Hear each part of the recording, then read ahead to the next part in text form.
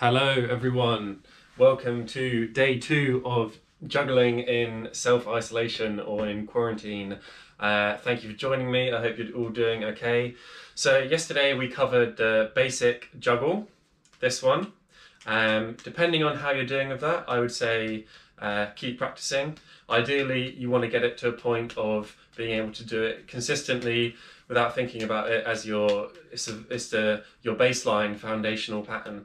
So this might take you know days to weeks. Uh, it, it's it depends on how much you practice, but I would say for sure practice that again. Uh, and as the lessons go on, practice the previous lessons uh, as well, not just what um, I'm doing in uh, different for the daily videos.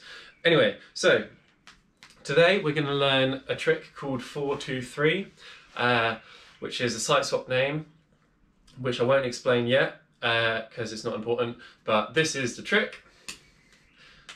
So you can also call it one up, one across, one up, one across, one up, one across, one up, one across, like this.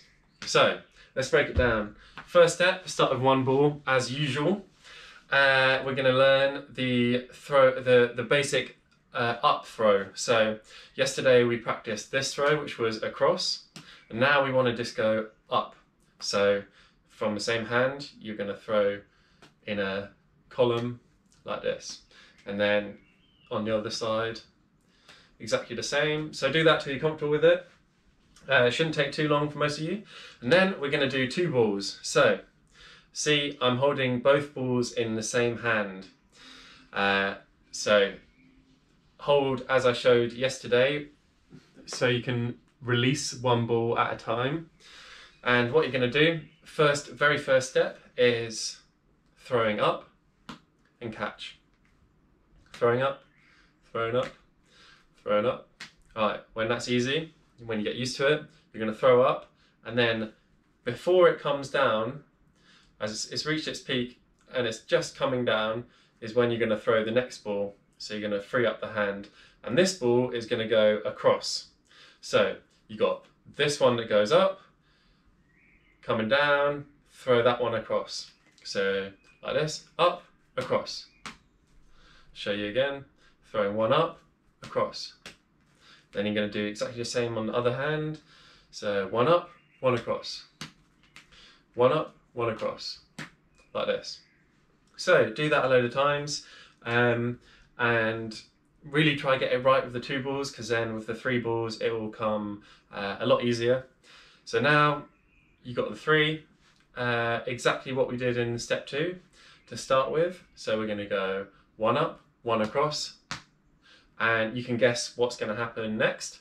As you're throwing the ball across, it's going to reach its peak over here as it starts to descend is when you're going to throw this one up, free up the hand to catch this one, uh, and repeat the pattern. So one up, one across, throw up, like that.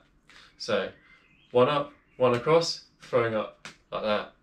And then, of course, well, do from the other side first, one up, one across, one up, like that.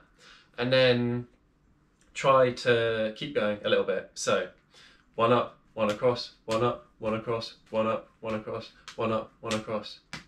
And you can see for now that my columns are quite clearly on the, the outside and I'm throwing the one across on the inside. So uh, by that I mean this is out here and that's there and you know they don't cross over each other. It's very clear the trajectory of each ball. Um, and yeah, um, that just making sure you do that will hopefully make the pattern a bit more clear. Um, of course, there are variations you can do. Uh, you know where you throw over the top. Whoops. So where you throw over the top. I don't know. There's like a lot of things which uh, I'm I'll cover in tomorrow's or future videos. Anyway, thank you for watching. Uh, let me know what you think, how you're getting on, if you're enjoying these videos, or if you have any requests. I know it's only day two, but I've got a lot to come. Uh, and I'm sure we've all got a lot of time on our hands to practice. So, anyway, see you guys tomorrow and goodbye.